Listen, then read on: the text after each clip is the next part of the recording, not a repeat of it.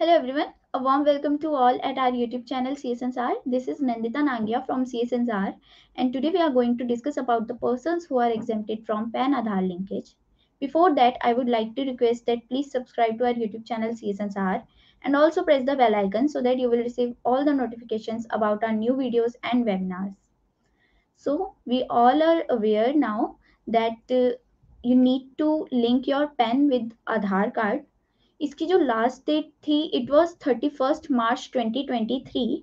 which has been extended now up to thirty June 2023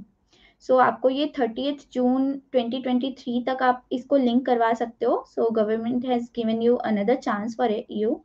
otherwise क्या होगा? आपका first जुलाई 2023 से ही आपका पैन कार्ड जो है वो इनऑपरेटिव हो जाएगा। एंड इनऑपरेटिव होते ही ड्यूरिंग दैट पीरियड आपको कुछ कॉन्सिक्वेंसेस फेस करने होंगे लाइक आपको जो रिफंड मिलता था अगेंस्ट सच पेन्स वो आपको नहीं मिलेगा। आपको जो रिफंड पे इंटरेस्ट मिलता था पेन पे जो इंटरेस्ट मिलता था, वो आपको नहीं मिलेगा। T D S T C S shall be deducted at a higher rate during that period only the pen can be made operative again in 30 days upon intimation of Aadhaar to the prescribed authority after payment of fee rupees 1000. आप within thirty days आप uh, मतलब thousand rupees की payment करके operative भी करवा सकते हो इसको those persons who have been exempted from PAN linking will not be liable to the consequences mentioned above. आपको जो एग्जेप्टेड हैं इस कैटेगरी से उन लोगों को कोई भी कॉन्सिक्वेंसेस फेस नहीं करने होंगे सो so, वो कौन सी कैटेगरीज हैं we will discuss about it but before that there is the link where you can uh, check the status of your pen with Aadhaar card आपको एक पैन कार्ड आप uh, इसमें प्रोवाइड करोगे Aadhaar number provide करोगे सो so, आपको एक popup show हो जाएगा जिसमें क्या होगा कि आपको लिखा हुआ मिल जाएगा like it is already linked with it और not if not then you need to follow this process कि आपको एक पेमेंट करनी होगी कहाँ जाके करनी होगी ई फाइलिंग पोर्टल पे जाके करनी होगी देर इज़ ऑप्शन ई पे टैक्स वहाँ पे जाके आप न्यू सेलेक्ट न्यू पेमेंट आपको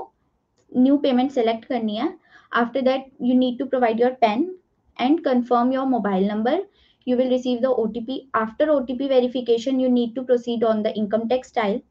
there you need to select assessment year as twenty twenty four to twenty five and then आपका जो हेड होगा वो अदर रिसिप्ट फाइव हंड्रेड होगा, जिसमें आपको थाउज़ेंड रुपीज़ की पेमेंट करनी है. After that you can after that you can uh, proceed further steps. Like आप रिक्वेस्ट uh, सबमिट कर सकते हो आप अपने पैन आधार लिंकेज के लिए।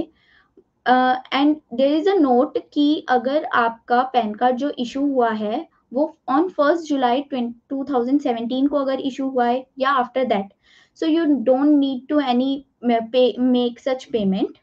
you can directly submit your linking request there. And this is these are the categories which are exempted from pan aadhaar linking so nris non-residentials are exempted from aadhaar pan linking इनको कोई consequences face नहीं करने होंगे if you are not a citizen of India or as on date if your age is above 80 years if your residential state is Assam, Meghalaya और Jammu and Kashmir because यहाँ पे आधार card mandatory नहीं है सो so यहाँ पे आधार पैन कार्ड को link कराना भी मैंडेटरी नहीं रखा गया है so that's all about it. Thank you so much. Keep watching and uh, it's my request that please like the video share it with your maximum friends so that they can also get the benefit it. Thank you so much